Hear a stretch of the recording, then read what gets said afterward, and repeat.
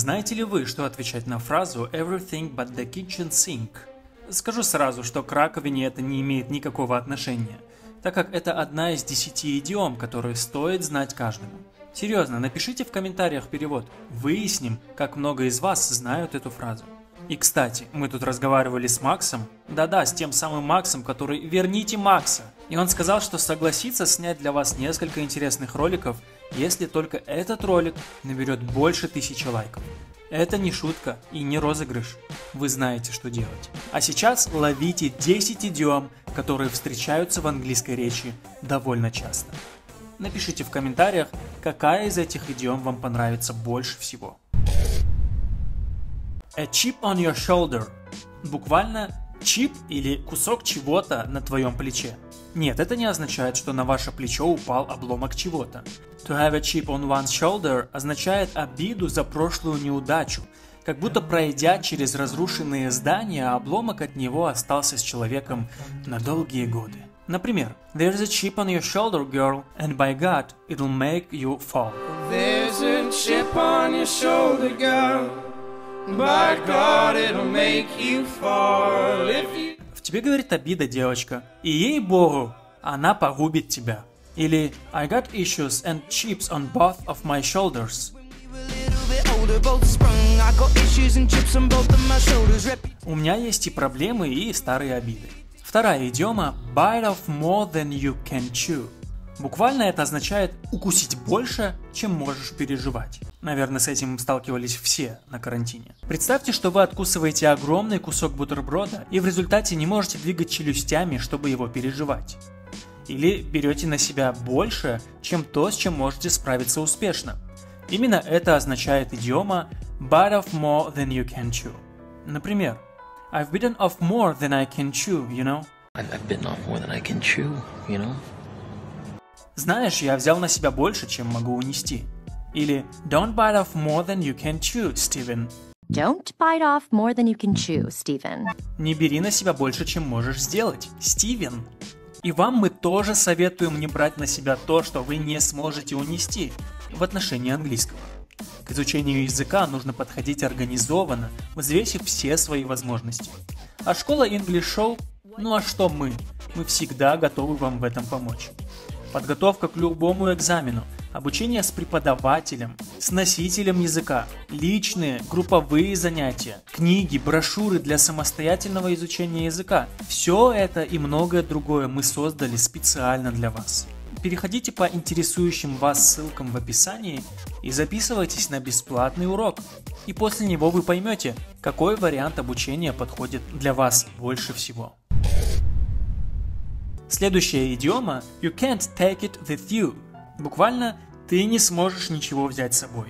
Смысл этой идиомы в том, что вы не можете забрать с собой что-либо, когда умрете. Поэтому не стоит сосредотачиваться на том, чтобы копить очень много денег или беречь вещи для особого случая. You can't take it with you призывает жить сейчас, потому что в итоге ваши вещи вас переживут. Cause it ain't like you can take it with you when you go.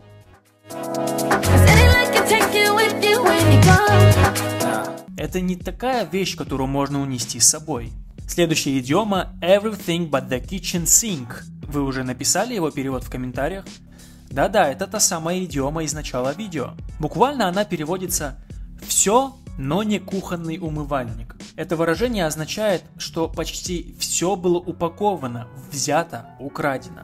Если кто-то говорит «The thieves stole everything but the kitchen sink», это означает, что воры украли все, что могли с собой унести. Because they put it everything but the kitchen sink. Because they put in everything but the kitchen sink. Потому что они положили все, что можно было. Over my dead body. Буквально над моим мертвым телом. Как-то много идиом, связанных со смертью у нас. А эту фразу поймет большинство из нас. Идиома, которая имеет тот же смысл, что и русское выражение. Только через мой труп. You'll get that strawberry over my dead body. Are you really willing to die? You'll get that strawberry over my dead body. Ты получишь эту клубнику только через мой труп. Tie the knot буквально означает галстук, узел. Значение «пожениться». Фраза осталась от традиции связывать молодоженам руки лентой, чтобы их жизни были скреплены вместе на долгие годы. Come on, girl, let's tie the knot. Come on, girl, let's tie the knot. Детка, давай поженимся. То есть русская передача «Давай поженимся» скорее всего в Америке называлась бы «Let's tie the knot». Don't judge a book by its cover. Дословно эту фразу можно перевести как «Не судите книгу по ее обложке». Ее используют в случаях, когда хотят объяснить, что вещи не всегда являются такими, какими они кажутся на первый взгляд. И даже если первое впечатление не было положительным, иногда следует дать еще один шанс. Never judge a book by its cover, honey. Never judge a book by its cover, honey. Не все так, как кажется на первый взгляд, дорогая. When pigs fly. Буквально, когда свинья полетит. Эта идиома похожа на нашу фразу «когда рак на горе свистнет», только с другим героем, со свинюшкой. Идиома означает «никогда». It's a beautiful thing when pigs fly.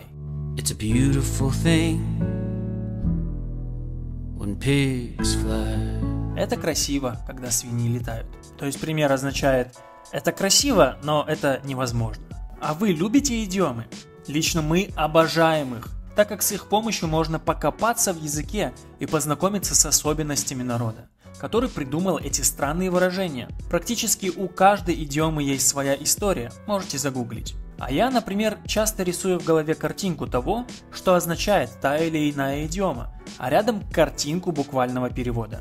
И так их легко запомнить. Именно поэтому в нашем инстаграме мы часто публикуем очень много хороших идиом. Есть чем дополнить? Пишите свои любимые, ну или не очень, идиомы в комментариях. А еще не забудьте пройти тест по ссылке в описании, чтобы закрепить материал.